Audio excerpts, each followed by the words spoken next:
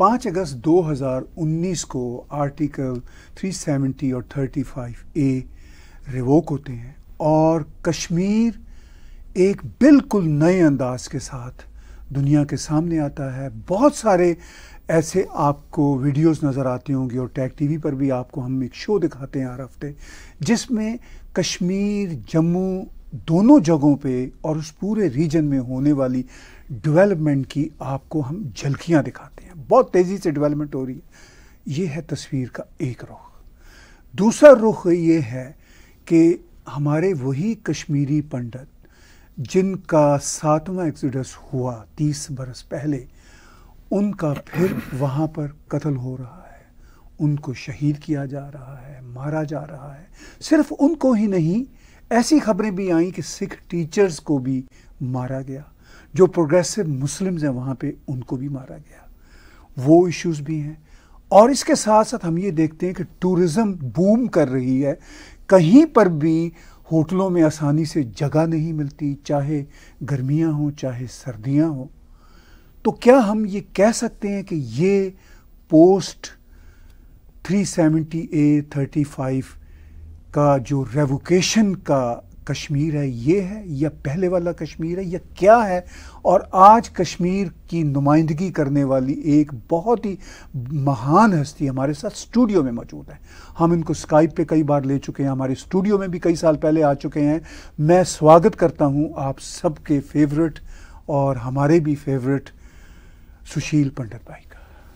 सुशील भाई। मैं आभारी हूँ, आपने फिर से मौका दिया और बहुत खुशी है। टैग टीवी पर जब भी आता हूँ बहुत आनंद आता है आपसे बात करके। बहुत बहुत अच्छा लगा। मैंने थोड़ा पीछे बांधा। हाँ जी। ठीक है उसमें पूरी कहानी भी है। बिल्कुल। आज का कश्मीर पोस्ट 370 35 ए रेवोकेशन के बाद क्या है? तीन साल एक महीना और एक हफ़्ता हो गया है। आप इसी से अंदाज़ा लगाइए कि हम दिन गिन रहे हैं। कि 370 के बाद जिस कश्मीर का वादा था वो कब पूरा होगा? और हर रोज़ अब इस बात पर यकीन होने लगा है कि जिस 370 के हटने या उसके डिसमेंटल होने उसके न्यूटर होने आ, को हम लोग पहला कदम मान रहे थे। एक लंबी यात्रा का, वो एकमात्र कदम, आखिरी कदम। बल्कि अगर थोड़ा सा और आगे जाएँ तो एक कदम आगे और डेढ़ कदम पीछे। ऐसा दिखाई पड़ रहा है। मैं इस बात से बिल्कुल भी इनकार करूँगा कि 370 अपने आप में कोई छोटी मोटी चीज़ थी। उसका जाना, उसको हटाना, एक कमाल की पॉलिटिकल विल का मुजाहरा था। एक बहुत जुर्रती काम था, जो पिछले सत्तर सालों में कितनी सरकारें आईं और गईं, उन्होंने उसको लेकर के वो कमिटमेंट नहीं दिखाया, वो हौसला नहीं दिखाया जो इस सरकार ने दिखाया, और इसके लिए जितनी भी तारीफ़ की जाए कम है। लेकिन क्या ये केवल एक बॉक्स को टिक कर देने का काम था? कि लोग सालों से चिल्ला रहे थे कि अब तो आपके पास पूरी मेजॉरिटी है पार्लियामेंट आपके पास है प्रेसिडेंट वाइस प्रेसिडेंट आपके हैं। तो क्या मुसीबत है? तो उन्होंने दे मारा मुँह पे और कहा, चलिए अब चुप कीजिए, ये हो गया। जबकि बात यह थी कि 370 की छाया में 70 साल जिस जिहाद ने अपना शिकंजा कसा था कश्मीर पर, वो पार्लियामेंट में एक प्रोक्लेमेशन से या प्रेसिडेंट के किसी कागज़ पर साइन कर देने से जाने वाला नहीं था। वहाँ की ज़मीन पर जो कब्जा है, वहाँ की मीडिया पर जो कब्जा है, एकेडेमिया पर जो कब्जा है, ब्यूरोक्रेसी पर, पुलिस पर, लोअर जुडिशरी पर, सिविल सोसाइटी पर, वहाँ की लिटरेचर पर, आर्ट पर सोचिए एक सिनेमा हॉल हम अभी तक शुरू नहीं करा पाए हैं कश्मीर में। शायद अभी एक शुरू किया है। शायद कह रहे हैं ना आप पता नहीं। क्योंकि मुझे यहाँ पे यही इंफॉर्मेशन मिल रही। तो ये हालत है। अच्छा ये हमें बताइए हमारे व्यूअर्स को बताइए आपने कहा कि 370 35 ए की रेवोकेशन एक वाकई ही बड़ा काम था एक बहुत बड़ी पॉलिटिकल विल चाहिए। ज़बरदस्त काम था। और उसके बाद जो आपकी पंडित बरादरी के लीडर होने के नाते उम्मीदें थी। वो आपने कहा कि वो हमें एक कदम आगे और डेढ़ कदम पीछे वाला मामला नज़र आता है। लेकिन स्टोन पेल्टिंग ऑलमोस्ट ख़त्म हो गई। बाज़ारों की रौनक आ गई। वहाँ पे ठीक है ये पंडित भी उनके साथ जुल्म हो रहा है मर रहे हैं। हमें यहाँ कनाडा में बैठ के यूँ महसूस होता है कि वो जो सत्तर पचहत्तर साल का जो एक माइंड सेट था वो कुछ तीन साल में नहीं जा पाएगा। तो ये दोनों बातें आप कैसे रिकनसाइल करते हैं? आपने बहुत अच्छी बात कही। जो हमारे नॉर्मलसी के स्टैंडर्ड्स जो उसके मैार हमने तय किए हैं या उसका क्राइटेरिया हमने उसकी कसौटी हमने बनाई है इस सरकार ने हमने से मेरा मतलब सरकार से है वो लगता है यही है कि बाज़ार रौनक से चलें सड़कों पर ट्रैफ़िक दौड़ता दिखाई पड़े, स्कूल और कॉलेजेस खुलें, दफ्तरों में लोग आए। ये है नॉर्मल सी। और इसमें अगर दो चार दिन में एक आध आदमी मारा भी जाए तो ये तो कश्मीर में बत्तीस पैंतीस साल से हो ही रहा है, ये भी पार्ट है नॉर्मल सी का।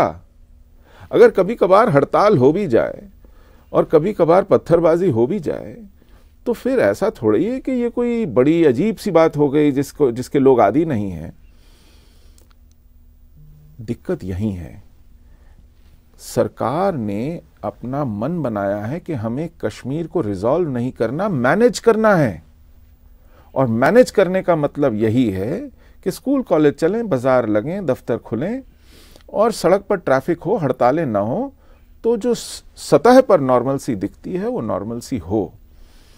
अब जिहाद तय करता है कि उसे कब पत्थरबाजी शुरू करनी है, कब हाथ खींचना है।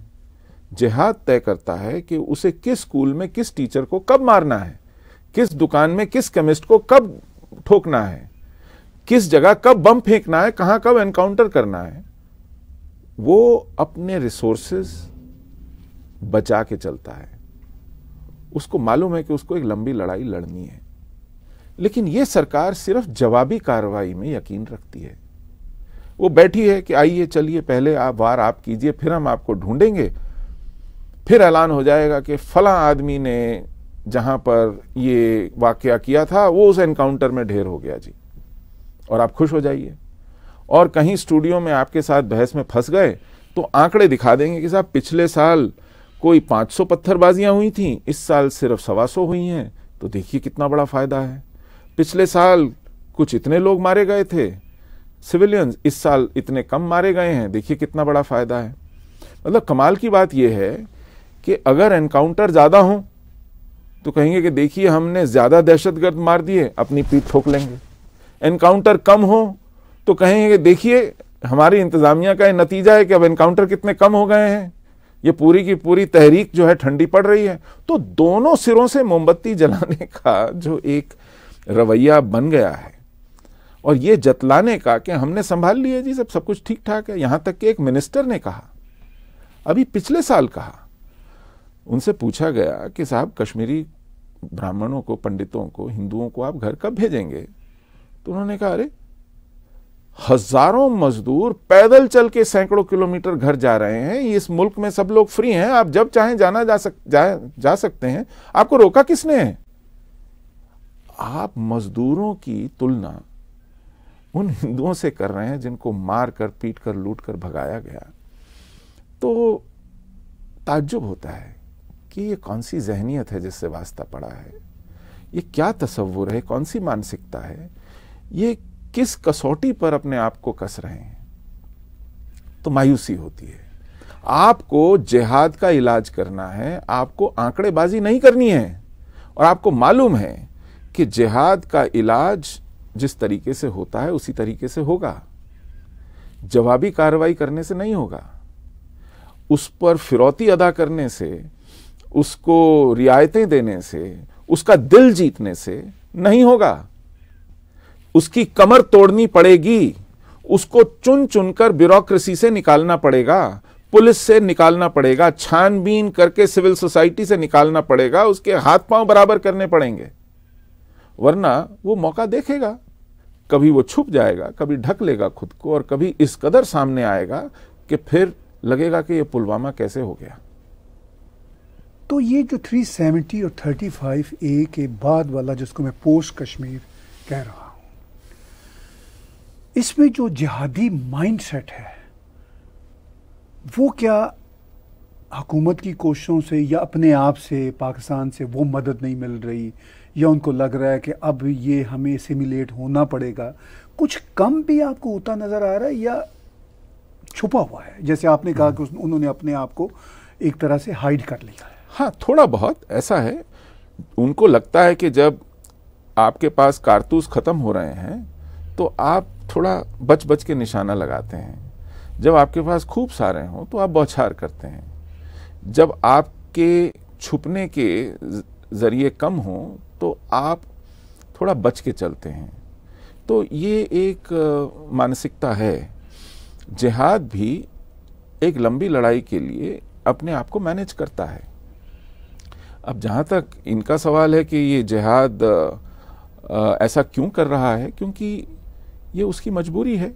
उसको भी मालूम है कि सरकार पूरी तरह मुझ पर हावी नहीं होगी और मैं जवाबी कार्रवाई करके एनकाउंटर की तरह बता देंगे कि चलिए निपटा दिया, इनको आगे कौन आएगा? इससे मामला निपटने वाला नहीं है। इससे एक तरह से स्टेलमेट एक इम्पास आएगा, जिसमें ठीक है, वो एक फ्रोजन कॉन्फ्लिक्ट है, चला आ रहा है। एक डर का माहौल बना रहेगा, कोई वापस जाएगा नहीं। और सरकार उनको थकाने की कोशिश में है, ये सरकार को थकाने की कोशिश में है। एक रेजोल्यूट काम जिससे आर पार मामला समझ जाए वो नहीं होता दिख रहा है। ये सबसे बड़ी मायूसी कुछ अरसे बाद भी आपको नहीं दिख रहा। जी नहीं। सिर्फ़ मतलब देखिए इसको आंकड़ों से आप नहीं देख सकते। आपका जो आग्रह है वो ये है कि देखिए अब इतने तीन सालों में कितनी कमी आई है। मैं आपसे एक ही सवाल पूछूँगा। अभी हम नौ ग्यारह की बरसी पे थे। अमेरिका में नौ ग्यारह के बाद कोई बड़ा हादसा हुआ है? नहीं हुआ है। लेकिन पिछले साल अमेरिका का होमलैंड सिक्योरिटी बजट आज तक का सबसे ज़्यादा था। क्योंकि उन्हें पता है कि वो खतरा बना हुआ है और उसको इस बात से नहीं नापा जा सकता कि कितनी पत्थरबाजी हो गई, कितने लोग मारे गए, कितने लोग पकड़े गए या कितने एनकाउंटर हुए। तो आप क्रिकेट के स्कोर की तरह जिहाद को नाप नहीं सकते कि पिछले इनिंग में इतना था और इस इनिंग में इतना है। ये सबसे बड़ी बेवकूफ़ी है जिहाद को इस तरह से नापना। आपको उसकी कैपेसिटी देखनी है। उसकी डिलीवरी वो तय करता है। आज अगर, देखिए 370 हटने के बाद कम से कम आठ महीने कोई एनकाउंटर नहीं हुआ। कोई पत्थरबाजी नहीं हुई। कोई हड़ताल नहीं हुई। तो क्या आप ये मानने की गफलत कर सकते थे कि वॉर खत्म हो गई? सब कुछ खत्म हो गया।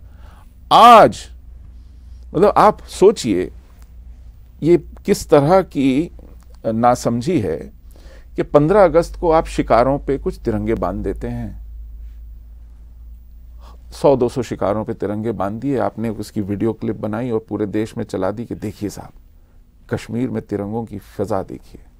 उसके बाद जन्माष्टमी आई, आपने लाल चौक से कृष्ण जी की एक झांकी निकाली, गाते बजाते, भजन गाते लोग नाचते हुए जा रहे हैं। क्या कभी सोचा था लाल चौक से आपको कृष्ण जन्माष्टमी की झांकी निकलेगी? वो भी एक क्लिप चला दी। लोगों को लगा कि साहब कश्मीर बदल गया। और जिहाद को एक हफ़्ता नहीं लगा। हर रोज कभी स्कूल में, कभी केमिस्ट पे, कभी बाज़ार में, कभी घर में घुसकर, कभी दफ्तर में घुसकर तहसीलदार के। पॉइंट ब्लैंक रेंज से उन्होंने आधा दर्जन लोग मारे तो 32 साल पहले जो लोग नहीं निकले थे, उन्होंने बिस्तर बाँध करके निकलना शुरू कर दिया। तो ये जो सुरक्षा का और सलामती का एक इल्यूजन क्रिएट किया जाता है, सतही तौर पर एक ड्रामा रचा जाता है और उसको फिर मुल्क में बेचा जाता है कि आइए, या फिर कहा जाता है कि टूरिस्ट देखिए। पंद्रह लाख टूरिस्ट बीस लाख टूरिस्ट इतनी सारी फ्लाइटें सत्तर हज़ार रुपए कमरा, कमाल हो गया। आप उस जिहाद की जेब में पैसे डाल रहे हैं। वो इसके लिए आपके शुक्रगुजार नहीं है। वो इसको आपकी बेवकूफ़ी समझते हैं और उसको मालूम है कि वो इन बेवकूफ़ियों पर हमारी बहुत देर तक गुजारा कर सकते हैं। और ये चल रहा है। कश्मीर को, कश्मीर के जिहाद को ऐसा मान लिया जाता है कि ये थोड़ा रूठे हुए लोग हैं, इन्हें मनाना है। ये थोड़ा भटके हुए लोग हैं, इन्हें समझाना है। इनके पास नौकरी या शिक्षा या इल्म की कमी है, इन्हें थोड़ा सिखाना है। इस तरह इस पर लीपापोती हो रही है कश्मीर से एक लाख से ज़्यादा कलाशनिकोव पकड़ी गई हैं पिछले तीस सालों में। कलाशनिकोव की फैक्ट्री भारत में नहीं है और ना ही ये कश्मीर के सेब बागानों में पेड़ पर उगती हैं। अगर इतनी बड़ी तादाद में आपके पास असला है, बारूद है, बम है और गोलियाँ हैं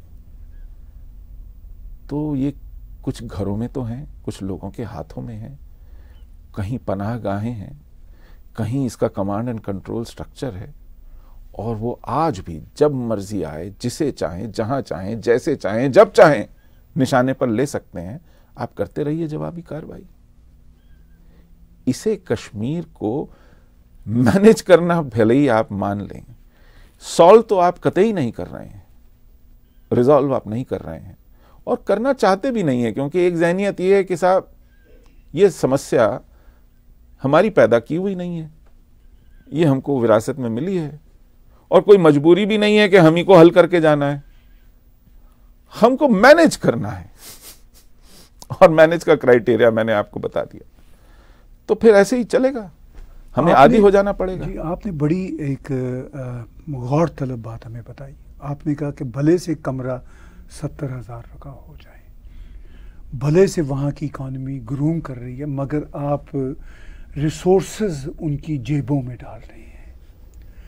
जब आप कहते हैं कि रिसोर्सेज इकॉनमी के उनकी जेबों में डाल रहे हैं तो क्या जो ख़ास तौर पर वादी में माइंड सेट है जनता का? पहले तो वो पाकिस्तान से उनको कुछ उम्मीदें थी, अब तो उनको पाकिस्तान से भी उम्मीदें नहीं हैं। अब तो उनको, जनता को जो मेन पॉपुलेशन हम खुल के बात करते हैं, वो तो मुस्लिम बरदरी की है। अब वो भारत के साथ इसिमिलेट भी अपरेंटली लगता है, होना चाहते हैं, क्योंकि उनको ये बताया गया कि बार, पाकिस्तान चॉइस नहीं है। आज़ाद आप हो नहीं सकते। तो फिर ये माइंड सेट जो है, ये आगे चल रहा है? क्या सूरत हाल है? न सिर्फ़ सत्तर हज़ार का कमरा और जेबों में रुपए जा रहे हैं, जो चीज़ साफ़ दिखाई पड़ती है, जो आंकड़ों में है। ऑटोमोबाइल मैन्युफैक्चरर्स एसोसिएशन का आंकड़ा है। हमारे centre for monitoring economy of India उसका आंकड़ा है कि कश्मीर में per capita ownership of cars is highest in the country prosperity का एक बहुत बड़ा बैरोमीटर है कार ओनरशिप ये एक डिस्क्रिशनरी ये एक नेसेसिटी नहीं है हाँ अब कई बार नेसेसिटी बन जाती है इंडियन इकोनॉमिक कंडीशन में आज भी ये एक लग्जरी है और अगर कश्मीर में per capita ownership of car सबसे ज़्यादा है तो आप सोचिए कि वहाँ की इकोनॉमी कितनी तंदुरुस्त है। वहाँ से टैक्स का इवैक्यूएशन पर कैपिटा सबसे कम है। आप सोचिए कि कितनी बड़ी रियायत है। आप कितने एक्सेप्शंस वहाँ क्रिएट कर रहे हैं, दिल जीतने के लिए, खुश करने के लिए, लेकिन खुशी है? नहीं। क्यों? क्योंकि आप वहाँ पीस का डिविडेंट नहीं दे रहे हैं। आप वहाँ टेरर को रिवॉर्ड कर रहे हैं। आप जब अस्सी अस्सी हज़ार करोड़ के पैकेजेस देते हैं, उसका क्या मतलब निकाला जाता है वहाँ? मेरे एक जानने वाले हैं, जवाहरलाल कौल, बहुत पुराने वरिष्ठ पत्रकार हैं, बहुत इज्जतदार व्यक्ति हैं। उन्होंने ये वाक़ सुनाया कि उनका एक स्कूल में पढ़ने वाला दोस्त कश्मीर में, कश्मीरी मुसलमान था, वो उनके पास आया। ये बड़ी सुनने लायक बात है। तो इन्होंने उससे पूछा कि भाई, कश्मीर से आप किसी भी डायरेक्शन में हज़ार किलोमीटर, दो हज़ार किलोमीटर कहीं भी चले जाएँ नॉर्थ साउथ ईस्ट वेस्ट किसी भी डायरेक्शन में आपको कोई ऐसा मुल्क मिलता है कि जहाँ आपको इतनी सहूलियत हो जितनी हिंदुस्तान में है, इतनी आज़ादी हो जितनी हिंदुस्तान में है। तो उन्होंने सोचा और उन्होंने कहा, ऐसा मुल्क तो नहीं दिखाई पड़ता। आप कहीं भी चले जाएँ, कितनी पाबंदियाँ हैं, कितनी सख्तियाँ हैं। तो जवाहरलाल कौल ने उस इश्तियाक से पूछा कि तो फिर तुम पागल क्यों हो गए हो? तुम्हारा दिमाग क्यों खराब है? तो उसने उसका जवाब ये दिया कि मैं आपसे एक सवाल करता हूँ। आप हिंदू हैं? तो जवाहरलाल जी ने कहा हाँ हैं। उन्होंने कहा, हिंदुओं में एक बात मानी जाती है, एक अकीदा, एक आस्था है कि एक मंत्र होता है। वो मंत्र अगर आपका सिद्ध हो जाए आप को उस पर अच्छा खासा कंट्रोल अभ्यास हो तो आपके मन की कामना, इच्छा पूरी हो जाती है, वो आपकी हर ज़रूरत पूरी करता है। तो ये मुस्कुराए, उन्होंने कहा, ऐसा है कि नहीं है? कहता मैंने सुना है। जवाहरलाल जी ने कहा, ऐसा होता है। आपके पास है? उन्होंने कहा, मेरे पास तो अब तक ऐसा नहीं है। तो इनके इस दोस्त ने इश्तियाक था या कौन था? उसने कहा, भाई, हमको तो ऐसा मंत्र मिल गया है। कहा अच्छा ऐसा कौन सा मंत्र है? उन्होंने कहा, वो मंत्र है पाकिस्तान जिंदाबाद। जब हम ये बोलते हैं, आपका मुल्क घुटनों पर आकर हमसे पूछता है कि, हुजूर, क्या गलती हो गई? आपको क्या चाहिए? और हमारी जरूरियात पूरी होती हैं। पाकिस्तान एक तरफ़, ये हमारी बेवकूफियाँ हैं कि हमने सत्तर साल आदत बिगाड़ दी है। एक पूरी की पूरी जहनीत जो है, वो जिसे कहते हैं कि एक नशे की आदि हो गई है। और हमने उस नैरेटिव को चेंज नहीं किया। हमने जिहाद के मुँह पर रुपया फेंका है। हमने जिहाद को डेवलपमेंट से डील करने की कोशिश की है। दुनिया में ऐसी बेवकूफियाँ कहीं नहीं होती हैं जो हमने की हैं।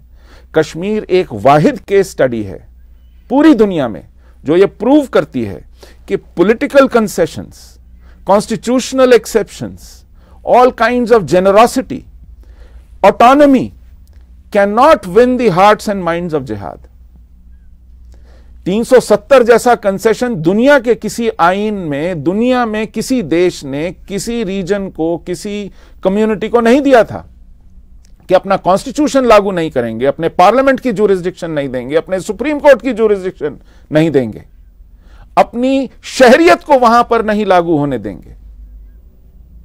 वहाँ जाने के लिए परमिट तक लेना पड़े, जैसे वीज़ा लेना पड़ता है इस तरह की शर्तें लगाएँगे और उसके बाद भी वहाँ की एक छोटी सी माइनॉरिटी को, पाँच सात परसेंट माइनॉरिटी को आप मार कर पीट कर लहू लुहान करके भागने पर मजबूर कर दें।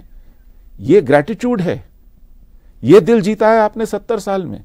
और यह समझ नहीं पा रही है हमारी हुकूमतें और सरकार अब तक कि आज भी कंसेशंस 370 हटे, अभी आठ महीने नहीं हुए थे डोमिसाइल नोटिफिकेशन आ गया। जिसने उन्हीं प्रिविलेजेस को पार्शली रेस्टोर कर दिया जो 370 के खारिज होने से हटाई गई थी। तो किस मुगालते में, किस भ्रम में क्या सोचे बैठे हैं? क्या करना चाह रहे हैं? वो जो एक कदम आगे, डेढ़ कदम पीछे था, वो यही है। और जब दुश्मन पहचानता है कि आप कंफ्यूज्ड हैं, आप नहीं जानते कि अगला कदम क्या है, वो इसका पूरा फ़ायदा उठाता है। और यह देश की कीमत पर वसूला जाता है। आपने कहा कि ये सब कुछ देश की कीमत पे वसूला जा रहा है। हमें, और हमारे व्यूअर्स को ये भी बताइए कि 370 और 35 ए के बाद रेवोकेशन के बाद, जो वहाँ की मेन पॉलिटिकल पार्टियाँ हैं। एक तो वो पार्टियाँ हैं जो कोट अन कोट अपने आप को सेकुलर कहती थी। जिनके साथ मोदी जी ने अपनी पहली सरकार के दौरान अलायंस भी एक के साथ किया। फिर रेवोकेशन के बाद उनको नज़रबंद भी किया। हम्म। और फिर अभी हमने पिछले साल गालबन देखा कि वो सब मिलने भी गए हुए थे दिल्ली। हाँ जी। ठीक है? अच्छा वो पार्टियाँ भी लगता है कि क्या आपको लगता है कि उन्होंने अपना स्टैंड चेंज किया। हमें तो यहाँ बैठे हुए नहीं लगता कि कोई उन्होंने स्टैंड चेंज किया। मैं उनकी बात नहीं कर रहा मिस्टर गिलानी की पार्टी की या वो जो हाँ, अलग हुर्रियत नहीं हाँ। मैं उनकी बातें नहीं कर रहा। वो तो वो तो एटलीस्ट क्लियर थे ना कि उनका एजेंडा क्या है। ये तो दोनों तरफ़ खेल रहे थे। तो अब नया मंजरनामा post three seventy thirty five A revocation के बाद नया पॉलिटिकल सिनेरियो क्या है? ये बहुत रोचक बहुत दिलचस्प सवाल किया है आपने। सबसे पहली बात तो मैं आपसे थोड़ा सा आ, इस मामले में इख्तलाफ रखता हूँ कि वो पार्टियाँ सेक्युलर थीं। कोट अन कोट मैंने कहा हाँ कोट अन कोट देखिए जिस पीडीपी के साथ बीजेपी ने अलायंस किया था राइट राइट उनका एक मैनिफेस्टो है जिसको वो सेल्फ रूल डॉक्यूमेंट कहते हैं। उस सेल्फ रूल डॉक्यूमेंट में वो शरिया मांगते हैं। ऐसा ही। उस सेल्फ रूल डॉक्यूमेंट वो कहते हैं कि एलओसी जो बॉर्डर है, उसको इरेलीवेंट कर दीजिए, खुला आना जाना हो जैसे वहाँ से जिहादियों को आने में बड़ी तकलीफ़ होती है। उस डॉक्यूमेंट में वो कहते हैं कि भारतीय करेंसी के साथ कश्मीर में पाकिस्तान की करेंसी चले। उस डॉक्यूमेंट में वो कहते हैं कि कश्मीर की टेरिटरी का जॉइंट मैनेजमेंट हो पाकिस्तान के साथ शेयर्ड सॉवरेनिटी हो। ये है उनके सेक्युलरिज्म का असली चेहरा। और उनकी जो लीडर हैं महबूबा मुफ्ती, वो एक कॉन्फ्रेंस हुई थी कश्मीर में। कश्मीर में हालात सुधारने के लिए तो उसमें वहाँ के जो हिंदू रिफ्यूजीज थे, उनको कुछ सहूलियतें देने की बात हुई, वो बहुत बदहाली में रह रहे थे।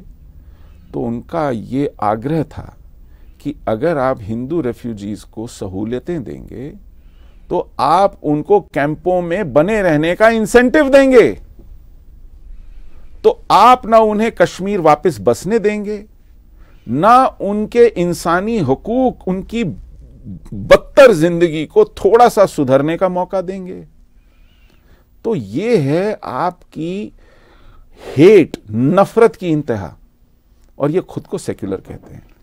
सुशील भाई, आपने कहा कि यहाँ पर जो इतनी माइनॉरिटी पंडितों की कम्युनिटी थी उसको भी नहीं रहने दिया गया और जो चंद बच्चे कुछ रह भी गए उनको भी जीने नहीं दिया जा रहा हम्म।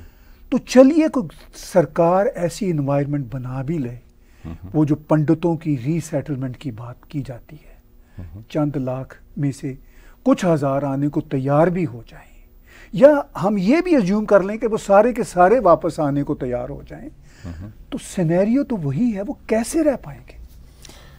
यही एक एक बहुत बड़ा मसला है। आप कह रहे हैं कि मुट्ठी भर लोगों को भी रहने नहीं दिया जा रहा। मैं उससे एक कदम और आगे जाता हूँ। अफ़गानिस्तान में तो वो मुट्ठी भर बुद्धिस्ट भी नहीं रह गए थे। सिर्फ़ बामियान में पत्थर के वो बुद्धा खड़े थे। ना वो बोल सकते थे, ना सुन सकते थे, ना कुछ कर सकते थे।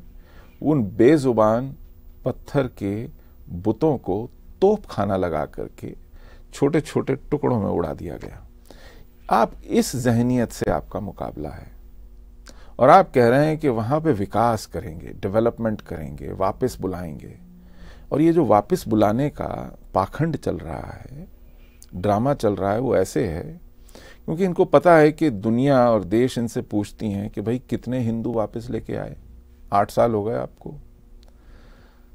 तो इनका जवाब है कि ठीक है, हम इनके मुँह पर इनकी जो बदहाली है, इनका जो डेस्टिट्यूशन है, उसको एक्सप्लॉयट करते हैं, इनको कुछ हज़ार नौकरियाँ देते हैं, और इन नौकरियों के लालच में ये लोग वहाँ आएँगे, इनको वहाँ की नॉर्मलसी का एक ढोंग तो कराई देते हैं हम लोग, कि देखिए, अब तिरंगे भी हैं, अब झांकियाँ भी निकल रही हैं।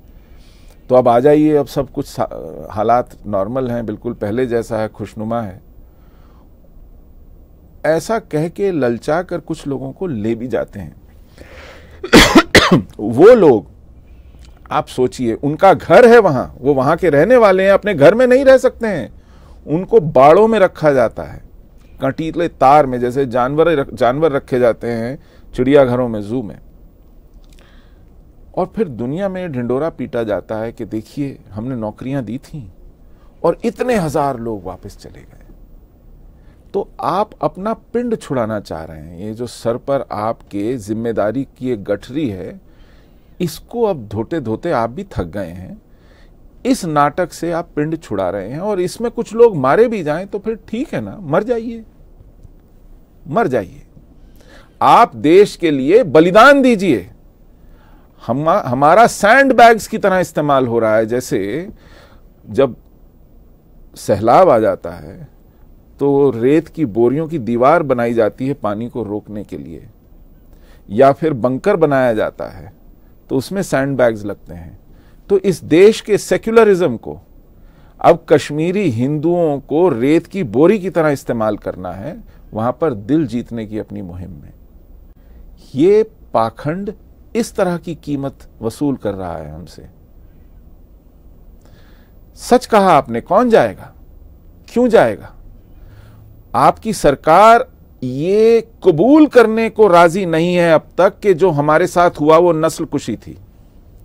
हमारी सरकार ये करने को राज़ी नहीं है कि जो पीड़ित हैं, जिनके साथ जुल्म हुआ है, उनको इंसाफ मिले, न्याय मिले, उनको मारने वाले वहाँ छुट्टे घूम रहे हैं। वहाँ नेता बने हुए हैं। वो सोशल आइकॉन्स हैं वहाँ के। आप सच मानिए, जब गीलानी की मौत हुई, मुझे बहुत दुख हुआ। वो चौरानवे साल का आदमी अपने बिस्तर में आराम की नींद सोता हुआ मरा, जो किसी दूसरे मुल्क में होता तो किसी नज़दीक के खंबे से लटकाकर कम से कम तीस साल पहले मार दिया गया होता। वो अपने कामों का अंजाम भुगते बिना बहुत आराम से गया। और इसी तरह यासीन मलिक और बिट्टा कराटे जा रहे हैं। अभी तो कई दशकों तक नहीं जाएँगे, क्योंकि ये सरकार उन्हें पालती है। ये सरकार उनको सुरक्षा देती है, उनके खर्चे उठाती है, उनके नखरे उठाती है। और ऐसा करते हुए वो हमसे भी ये तवक्को रखती है कि हम वहाँ जाएँ। जाकर के बसें, ताकि इनके सर पर से वो कालिख धुल जाए कि इनके होते हुए हमको वहाँ से निकलना पड़ा। ऐसे में इसके लिए हमारे एक लीडर हैं, डॉक्टर अजय चंगू पनन कश्मीर के। उनका आग्रह है कि हम दो पार्टों में फंसे हुए हैं। एक तो जेनोसाइड है, और एक डिनायल ऑफ़ जेनोसाइड है। दुश्मन ने तो हमारी नस्ल कुशी की, उससे और तवक्को भी क्या रखी जा सकती थी? लेकिन जिस पर ज़िम्मेदारी थी हमें बचाने की, वो दुश्मन का दिल जीतने में ऐसा लगा है कि उसने हमारी नस्ल कुशी पर लीपा पोती की। उसने हमें इंसाफ तक नहीं दिया। तो एक तरफ़ ऐसा दुश्मन है और दूसरी तरफ़ ऐसा दोस्त है। ऐसे में हमको कोई और रास्ता खोजना पड़ेगा। अभी फ़िलहाल कश्मीर तो हम उस पर अपना क्लेम छोड़ने से रहे, लेकिन इंटरिम में हमें कुछ और रास्ते ढूँढने पड़ेंगे। आज हम इस बात के लिए मजबूर कर दिए गए हैं। आज मेरी कोशिश है आपके साथ जो डिस्कशन हो, उसका कोई एक और पार्ट भी अगर आज नहीं तो किसी और वक्त हम रिकॉर्ड करें। चाहे ऑनलाइन ही हो और मुसलसल करते रहें। लेकिन मैं जो आज की गुफ्तु है, उसके आखिरी लम्हों में ये भी जानना चाहता हूँ। जो आपने अभी बात की कि इसका कोई और रास्ता तलाश करें, वो रास्ता ही इसका जवाब है। इसका हल है, वो आखिर है क्या या क्या हो सकता है? बढ़िया बात है। मुझे सबसे पहली शर्त उस रास्ते की ये है कि हम दुनिया से ये कबूल करवाएँ कि आज के वक्त में ये कोई मेडिवल पीरियड नहीं था सुल्तानों का और गाजियों का कि वो खोपड़ियों के मीनार खड़े कर दें और इस पर किसी को कोई सवाल पूछने की ज़रूरत ना हो। आज की दौर में डेमोक्रेसी के दौर में ह्यूमन राइट्स के दौर में पार्लियामेंट और सुप्रीम कोर्ट के दौर में, एक इंडिपेंडेंट प्रेस के दौर में, एक जहता मुल्क नब्बे करोड़ की पॉपुलेशन देखती रह गई और हम मार कर पीट कर उजाड़ दिए गए। ये अगर आज के दौर में हो और उसको तस्लीम भी ना किया जाए तो सबसे पहली शर्त यह है कि हम दुनिया से मनवाएँ कि हमारे साथ क्या हुआ है। दूसरी शर्त यह है कि आप कोई भी सोल्यूशन तलाशें। उससे पहले जो ज़िंदा हैं, अब तक गवाही देने के लिए तरस रहे हैं, अब तक इंसाफ की इंतज़ार में सड़ रहे हैं, मर रहे हैं, अब तक रेफ्यूजी कैंप्स में जी रहे हैं। बीस हज़ार से ज़्यादा तो एक रेफ्यूजी कैंप में है जिसको हम जगती कहते हैं, जम्मू के पास है। उनको एक्नॉलेज कीजिए कि ये कौन है, किस बात के पीड़ित हैं, किस लिए हैं वहाँ पर। ये एक बड़ी जंग है। फिर हम कहाँ रहेंगे, कैसे रहेंगे, वो रास्ता भी निकालेंगे। लेकिन ये रास्ता, उसके पहले कदम ये हैं कि जेनोसाइड की एक्नॉलेजमेंट हो जस्टिस की डिलीवरी हो, जिन्होंने जेनोसाइड का एक से प्रॉफिट किया है, जो हमारे घरों में घुस गए। हमारी जमीनों पर चढ़ दौड़े, जिन्होंने हमारे मंदिर उजाड़ दिए, हमारे शमशान तक निकल गए, जिन लोगों ने हमारे व्यापार और दुकानें छीन ली, उनसे वो वापस लिया जाए। क्योंकि जब तक प्रॉफिट फ्रॉम जिहाद हजम होता रहेगा, आने वाले वक्त में एक और जेनोसाइड का इंसेंटिव बना रहेगा। उन्हें मालूम होगा कि दो पीढ़ी पहले जो माल गनीम था उसने हमें कहाँ से कहाँ पहुँचाया है। तो काफिर का माल लूटा जाना सही ठहराया जाएगा। काफिर की औरतों की बेहुरमती सही मानी जाएगी। जब तक इस बात का नतीजा वो नहीं भुगतते, जिन्होंने ये सब किया है, तब तक हम आगे की सोच भी नहीं सकते। और ये हम लेके रहेंगे। आज नहीं तो कल। ये पीढ़ी नहीं तो अगली पीढ़ी। इस बात पे कोई कॉम्प्रोमाइज कोई नेगोशिएशन संभव ही नहीं है। बहुत बहुत शुक्रिया। आपने बहुत थोड़े शब्दों में जो पोस्ट 370 ए की रेवोकेशन के बाद की सूरत हाल है, वो बताई। जो चैलेंजेस हैं, वो हमें बताए। और आगे के रास्ते का सुझाव भी थोड़ा सा हमें दिखाया। सुशील जी ये बातें तो वो हैं जो ना ख़त्म होने वाली हैं मगर सम टाइम थोड़े शब्दों में जैसा कि आपने पूरी सूरत हाल बयान की है उसमें बहुत सारी अनकही बातें भी हैं। सही है। तो बहुत ही आखिर में आज की गुफ्तगु को जिसको मैं पार्ट वन कह रहा हूँ बहुत ही आखिर में इसको कैसे कंक्लूड करना चाहिए? हम लोग एक बड़ी ग्लोबल कॉन्फ्रेंस करने जा रहे हैं। अगले साल जनवरी में हम पूरी दुनिया को, दुनिया भर के बड़े शहरों से ये बताएँगे कि न सिर्फ़ कश्मीर में क्या हुआ, क्योंकि कश्मीर में जो हुआ, वो एक स्टैंड अलोन ट्रेजेडी नहीं थी।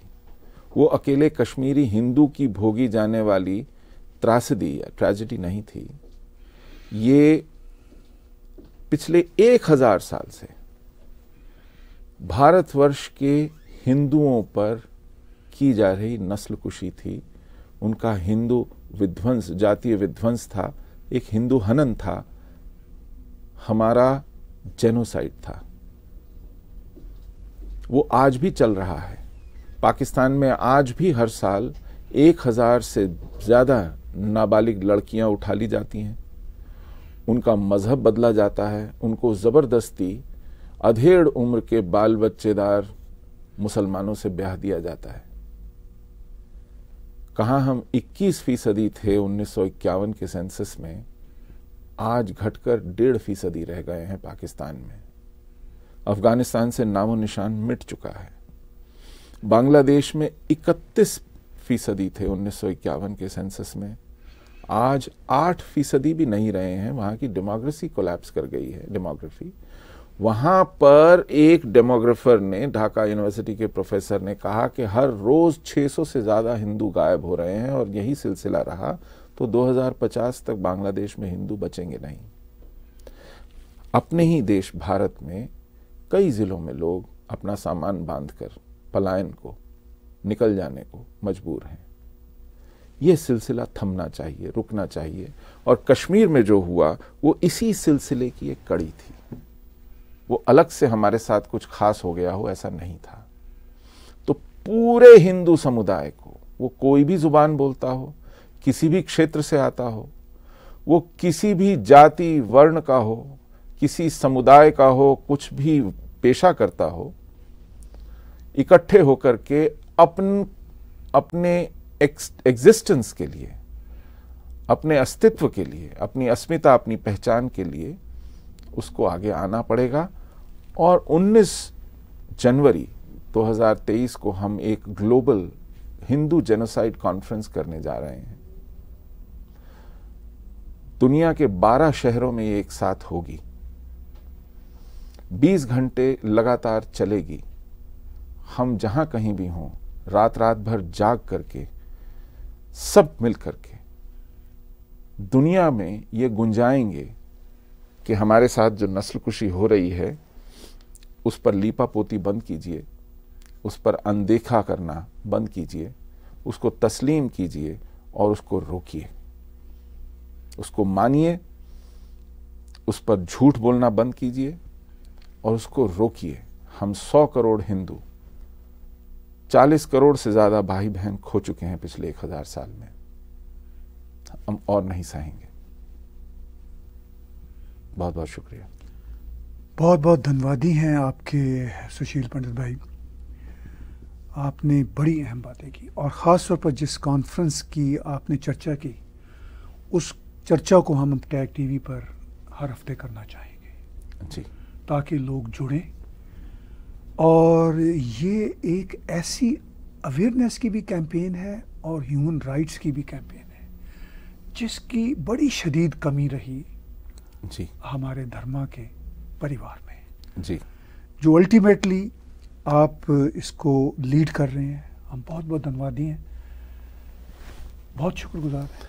मैं आभारी हूँ आपने मुझे वक्त दिया अरे और अपनी दो बातें कहने का मौका दिया। बड़ी इंपॉर्टेंट बातें थी। बहुत बहुत शुक्रिया। और मेरी व्यूअर्स के सामने आपसे विनती होगी कि आप हमें जब भी दस्तयाब हों ऑनलाइन ही सही मुझे बहुत खुशी होगी वक्त देते रहिए ताकि ये बातें चलती रहें।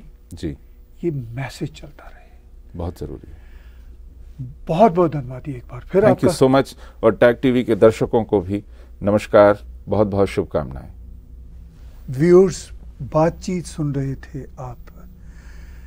सुशील पंडित भाई की। बड़ी ही इम्पोर्टेंट है। बहुत ज़्यादा हमें इस पर गौर करना होगा कि जो नैरेटिव सुशील जी इतने समय से पूरी दुनिया के सामने ला रहे हैं, हम उस नरेटिव का कितना हिस्सा है? सुशील जी का साथ दीजिए। और इनकी जो इंटरनेशनल मूवमेंट है, उसका हिस्सा बनिए। और आखिर में टैग टीवी के हवाले से हमारा चैनल सब्सक्राइब कीजिए। बहुत बहुत धन्यवाद।